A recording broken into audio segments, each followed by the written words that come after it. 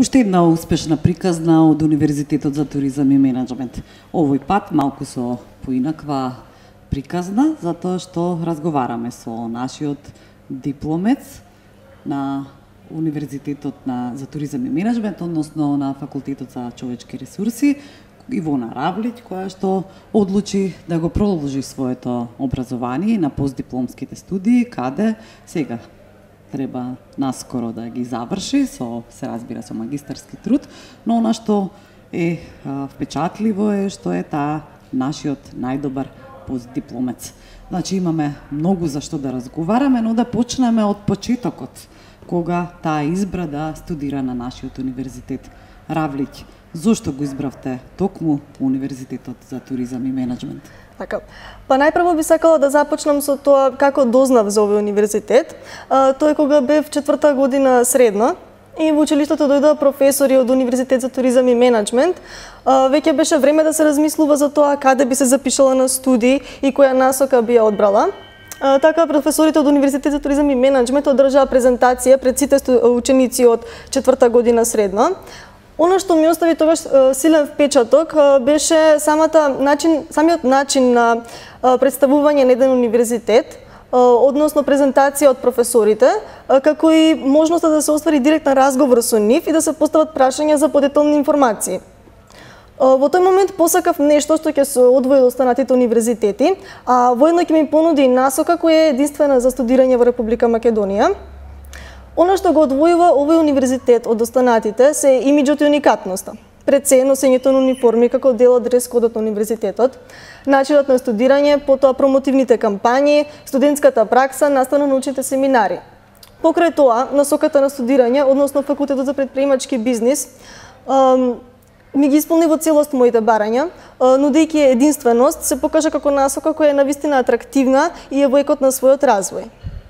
Денес, како постдипломец на овој универзитет, можам да кажам со сигурност дека сум горда на својата одлука што ја донесов тогаш во тоа време, бидејќи пред се овој универзитет, оваа образовна институција умее да го цени трудот на своите студенти, така што на најуспешните се доделуваат пофалници како награда за постигнатиот успех.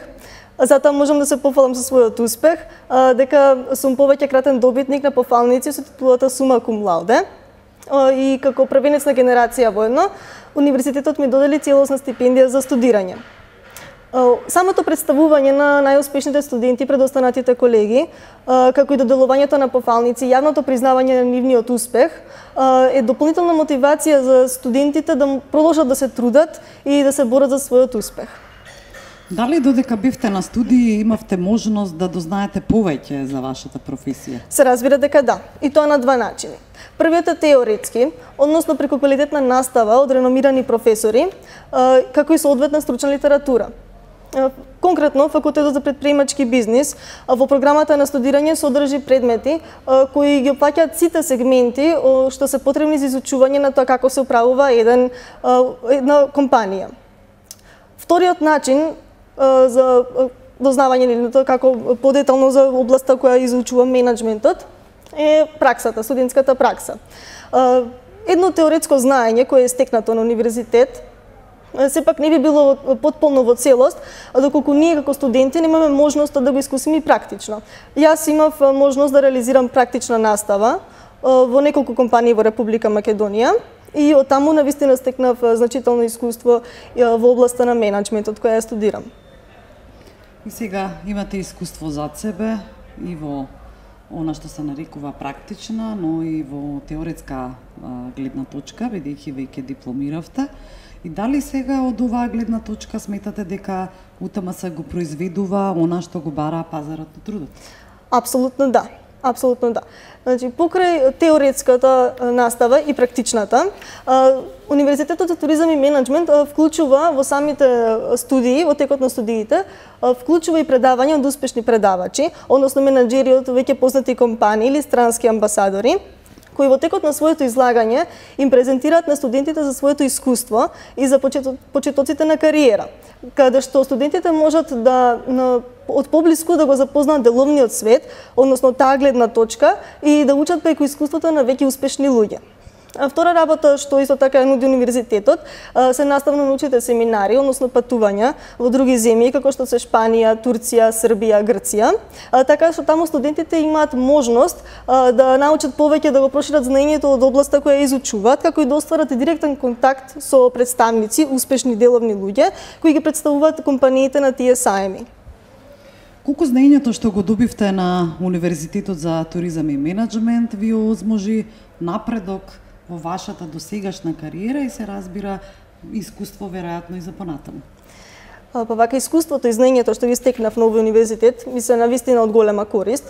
Тоа го забележав, се увери во тоа кога работев во Канада, во компанија која ме ангажираше во, во делот на менеджментот. Иако бев нова во компанијата, сепак за брзо време и многу лесно успев да се вклопам во работната атмосфера и да помогнам во реализирањето на работните активности сепак како еден предприемач кој што е полн со знаење и искуство, односно стекната пракса и трагач по иновации, посака, значи понудив нова идеја на компанијата која што беше успешно прифатена и така ме ме назначено како координатор на нов проект на компанијата, односно тоа беше се работеше за нов производ наменет за канадскиот пазар.